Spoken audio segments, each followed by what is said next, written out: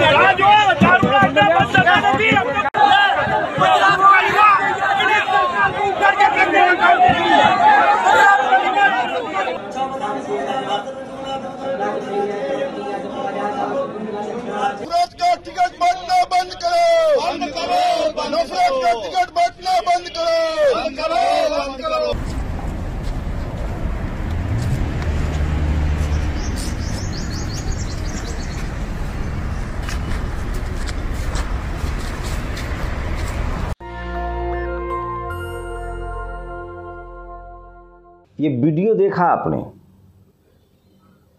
ये वीडियो है रुद्राभिषेक करते हुए महादेव काशी विश्वनाथ का, जो मोन्टाज में देखा। लेकिन आप लोग को एक क्लू दे के जा रहा हूँ। इस वीडियो में कौन है पति पत्नी? और क्यों वो अपना चेहरा नहीं दिखा रहे हैं? आप लोग कमेंट करके बताइए, मैं वीडियो के लास्ट में बताऊँगा।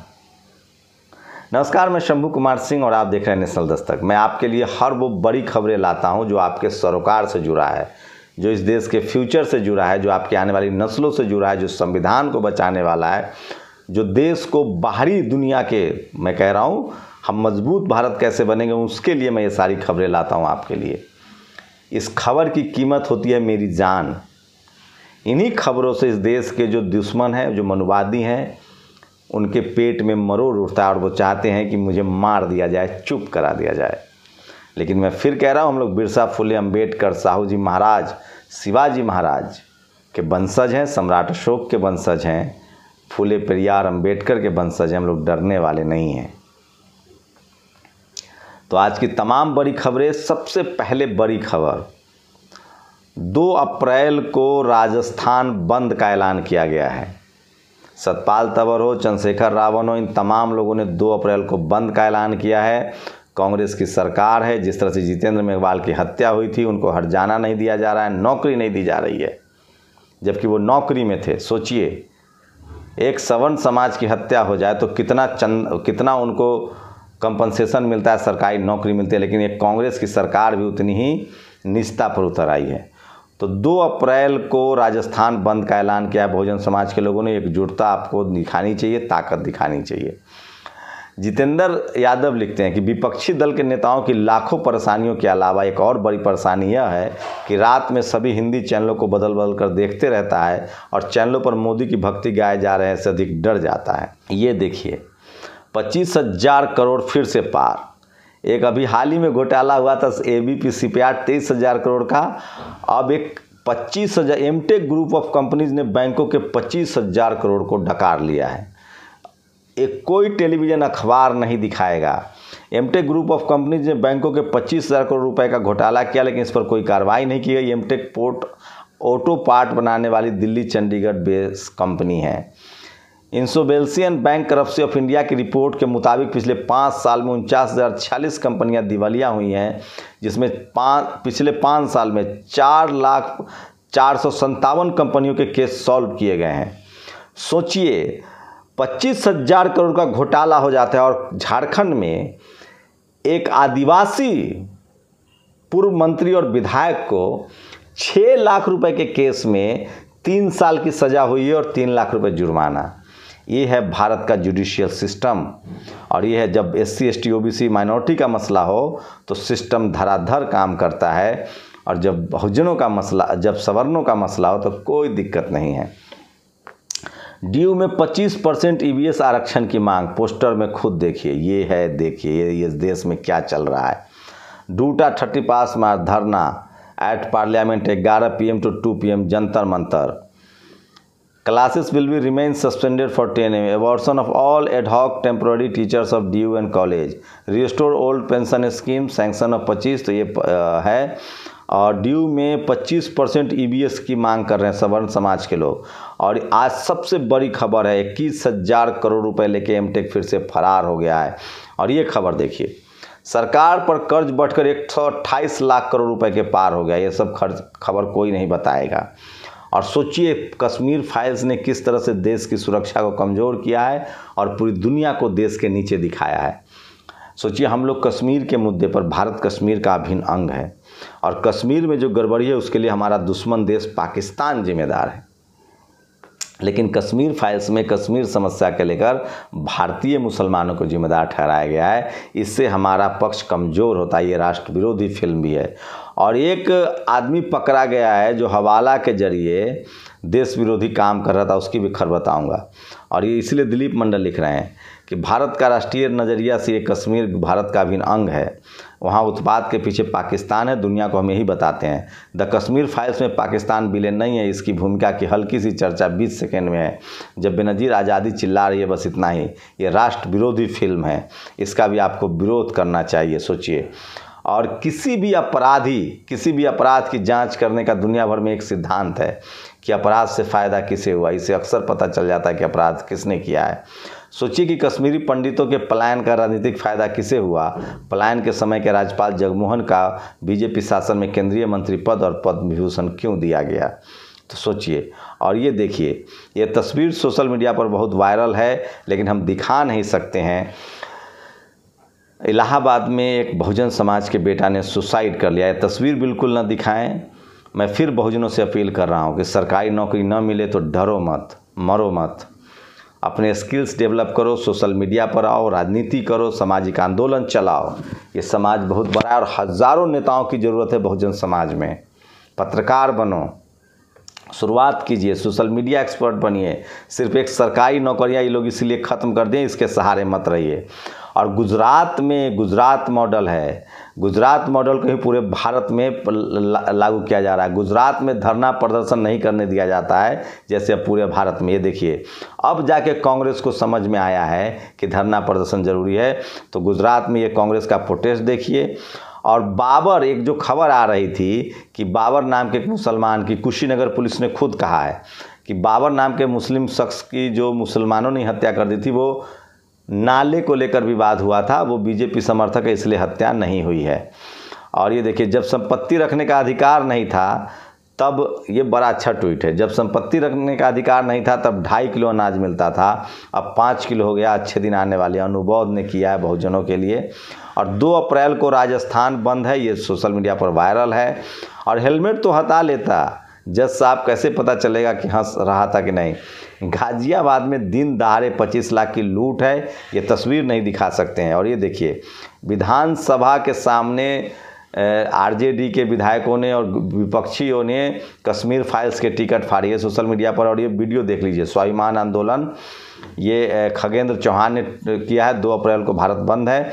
जय भीम साथियों, जैसा कि आप सभी को पता है भाई जितेंद्र मेघवाल हत्याकांड में सरकार ने जायज़, हमारी जायज़ मांगों को लेकर अपना गैर जिम्मेदाराना रवैया अपनाया है।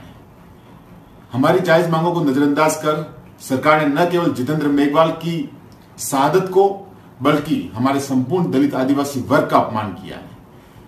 आप सभी को पता है कि भाई चंद्रशेखर जी आज़ाद ने 2 अप्रैल 2022 बहुजन एकता दिवस पर एक अनिश्चितकालीन धरना और स्वाभिमान आंदोलन की घोषणा की है। पाली जिला मुख्यालय पर। मैं आप सभी से अपील करता हूँ कि आप सभी साथी ज़्यादा से ज़्यादा संख्या में इस धरने में, इस आंदोलन में अपनी भूमिका निभाए, जिससे हम हमारे मान, सम्मान, स्वाभिमान और हमारे अस्तित्व की लड़ाई लड़ सके और इस देश के अंदर जातीय आतंक के खिलाफ सामाजिक न्याय को एक कर सके, सामाजिक न्याय का परिचय दे सके। जय भीम, शैलेश मौसलपुरिया, धन्यवाद। और दानापुर नगर परिषद के उपाध्यक्ष दीपक कुमार मेहता की गोली मारकर हत्या कर दी गई है। क्या मोदी भारत में अब बापू की जन्मभूमि गुजरात में आंदोलन की कोई जगह नहीं है? तो ये गुजरात में दौल ये वो शख्स है। पाकिस्तानी आतंकियों को हवाले से रुपए भेजने वाले गोरखपुर से एजेंट मानवेंद्र सिंह को एटीएस ने गिरफ़्तार किया। सोचिए, कोई दलित, पिछड़ा, आदिवासी या मुस्लिम होता तो क्या होता? पूरे कम्युनिटी को टारगेट कर दिया था। गुजरात की सही तस्वीर क्रांति की शुरुआत है, संदीप सिंह ने। और ये वीडियो जो आपने मोन्टाज में देखा होगा, दूसरा, ये देखिए, ये है विधायक। जिग्नेश मेवानी, किस तरह से ये बाउंड्री पार करके प्रदर्शन के लिए जा रहे हैं? और bureaucracy court media corporate banking university PSU सब जगह ठाकुरों की संख्या एकदम से कम है। और ये तस्वीर देखिए एसपी साहब, ये सतपाल तंवर को एसपी साहब समझाने आए हैं कि दो तारीख को प्रदर्शन मत करो। उन्होंने कहा कि हम तो करेंगे। और जय भीम बोले तो बच्चे को पीट ग्रामीणों ने आरोपी टीचर को धोना। ये ये खबर जो है वो सोशल मीडिया पर वायरल है। ये ये बड़ी खबर है और मैं इसलिए बार बार कहता हूँ कि कठुगर की कहीं राजकीय उच्च विद्यालय भास्कर न्यूज़ की खबर है ये। तो जिस तरह से जातिवाद है इस देश में, आप अपनी बात भी नहीं कह सकते हैं। और through Keshav Prasad Maurya was retained in cabinet a major change in portfolio from P W D his previous stand bill now in charge of rural development P W मंत्री से उनको हटा दिया गया है। ये तस्वीर न दिखाएँ, यूपी के कन्नौज में एक बुज़ुर्ग को माँ को कंधे पर उठा के बेटा इलाज करवा रहा है। ये मीडिया नहीं चलाएगा। समीर अब्बास ने ट्वीट किया है, फ़ोटो ब्लर कर दें। और ये देखिए, उत्तर प्रदेश के ललितपुर गाँव में आज भी सवन के घर के सामने S C S T O B C की महिलाएँ हाथ में चप्पल लेकर चलती हैं, पहन के नहीं जा सकती हैं। स्क्रीन शॉट दिखाइए, दूसरे चैनल का है। तो ये तमाम विवेक अग्निहोत्री की फ़िल्म ने ढाई सौ करोड़ रुपए कमाए हैं। और सपा की योगी सुजाति यानी ठाकुरों के आतंक साढ़े चार साल में सवाल नहीं करना चाहिए। और ये देखिए, योगी मंत्रिमंडल में सात ब्राह्मण, आठ ठाकुर, दो भूमियार एक कायस, तीन वैश्य ये टोटल मिलाकर होते हैं इक्कीस। बीस ओबीसी, नौ दलित, एक सिख, एक मुस्लिम। देखिए, पत्रकार, इस सवन पत्रकार की बेईमानी की ये नहीं कह रहा है कि सवर्ण सबसे ज़्यादा है इक्कीस, जिनकी पंद्रह परसेंट आबादी है। बहुत जातिवाद है ये। और लक्ष्मण सिंह नाम के शख्स के मोबाइल से एमपी टेट का परीक्षा लीक हुआ। इसके लिए दो लोगों पर एफआईआर हुई है। दिग्विजय सिंह ने ट्वीट किया है। मैं, मुझे खुशी है कि होती अगर इसके पहले शिकायत परीक्षा की धांधली की जाँच होती। और whistle blower doctor Anand Rai tribal बड़े नेता हैं मध्य प्रदेश के, इन पर भी केस दर्ज किया गया है। तो अब केस से सबको डराया जा रहा है। मायावती जी का एक ट्वीट आया है मीडिया रिपोर्ट के मुताबिक इसको लेकर सैन्य अफसर भी चिंतित हैं। सेना में जो बहाली रुक गई है, उसको लेकर मायावती जी ने ट्वीट किया कि जल्दी से बहाली हो। चंद्रशेखर रावत ने ट्वीट किया कि दो अप्रैल को राजस्थान बंद है और मायावती जी ने सेना में बहाली को लेकर कहा है और ये कितना दुखद है कि पार्टियों को ये समझ में आ गया है कि सिर्फ़ जय भीम बोलने और बाबा साहब से। और कोटा फ़िल्म रिलीज़ हो रही है, संजीव जायसवाल की फ़िल्म है ज़रूर देखिए, द सुधरा राइजिंग और कोटा। और ये देखिए, मंत्री जी हिजाब के विरोध में हिजाब वाली मंत्री के साथ I had engaging meeting with minister of state international cooperation H E Reema Al Hashimy at the Indian pavilion tweet तो अनुराग ठाकुर, यहाँ हिजाब का विरोध करेंगे, बाहर नहीं जाएँगे। और S C S T O B C हो तो कानून बहुत सख्त है, ये देखिए, ये तस्वीर दिखा रहा हूँ। यहाँ सवर्ण कंपनियाँ करोड़ों रुपए लेकर भाग जा रही, लेकिन special CBI court, Ranchi, sentence, Jharkhand Congress leader Bandhu Tirkey तीन साल की सजा हुई है इनको, तीन लाख का जुर्माना छः लाख रुपए की चोरी के आरोप में। दिल्ली में तो बाकी लोग मनरेगा में मजदूरी करते हैं। तो ये वीडियो भी एक वायरल है संगीत और राग इनके पास था, ये नीच काम माना जाता था। फिर जब पैसा आया तो अकादमियाँ बनी। ये देखिए S C S T O B C minority के अंदर कितना हुनर है। ये वीडियो पाँच सेकंड का ज़रूर सुना है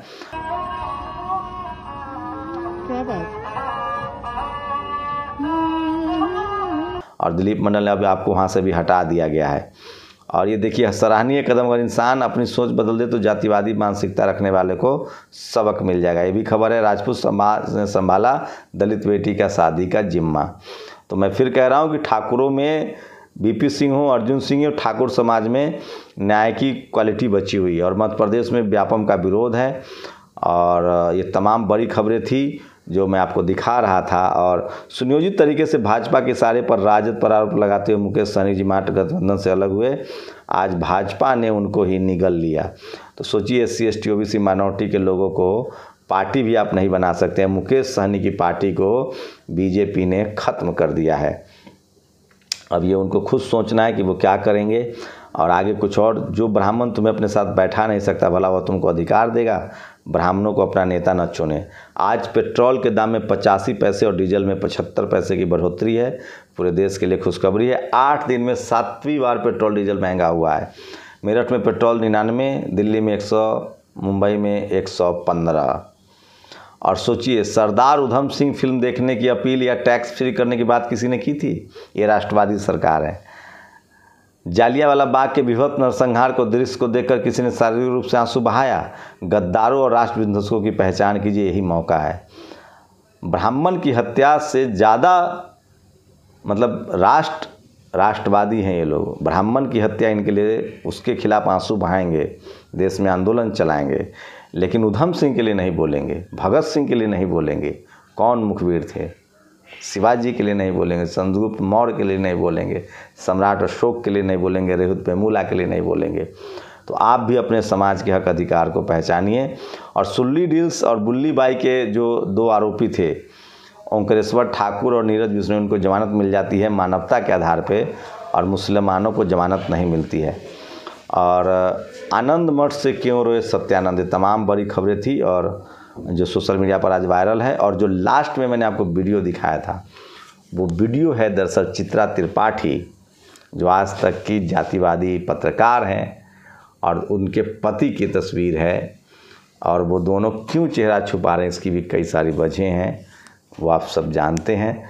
तो सोचिए, एक पत्रकार जो सरेआम इस तरह से कर्मकांड करता हो, वो रिपोर्टिंग के दौरान कितना ईमानदार रहता होगा। इसलिए मैं कह रहा हूँ कि भारत में जाति और धर्म बड़ी चीज़ है। कोई जज बन जाए और वो सारा कर्मकांड 24 घंटा 18 घंटा अपने जाति के हिसाब से करे और वो जज की कुर्सी पर बैठते ही ईमानदार हो जाएगा, ऐसा नहीं होता। इसलिए बाबा साहब ने कहा है डाइवर्सिटी जब हर कम्युनिटी के, हर जाति के, हर धर्म के लोग बराबर संख्या में रहेंगे तो चेक एंड बैलेंस रहेगा। तो आज की बड़ी खबरें थी। आपकी क्या प्रतिक्रिया, अपनी प्रतिक्रिया ज़रूर दीजिए। शुक्रिया। नेशनल दस्तक की आपसे गुजारिश है कि अगर इसको बचाना चाहते हैं तो नेशनल दस्तक को सब्सक्राइब करने के लिए रेड कलर के सब्सक्राइब बटन को दबाएँ, फिर बेल आइकन की घंटी दबाएँ। नेशनल दस्तक को बचाने के लिए बहुत ज़रूरी है कि हर खबर को शेयर करें, लाइक करें, कमेंट ज़रूर करें।